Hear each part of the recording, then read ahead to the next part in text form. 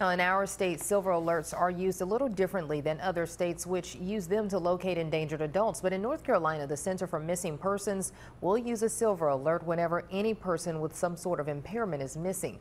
Law enforcement agencies contact the center, which issues the alert if the person meets certain criteria. There's uh, certain criteria that, uh, in order for a uh, silver alert to be activated, the person is believed to be suffering from either dementia or Two, the person is believed to be missing. Silver alerts can be issued statewide or just in a geographical area. Since the start of 2015, the center has issued approximately 155 silver alerts in North Carolina.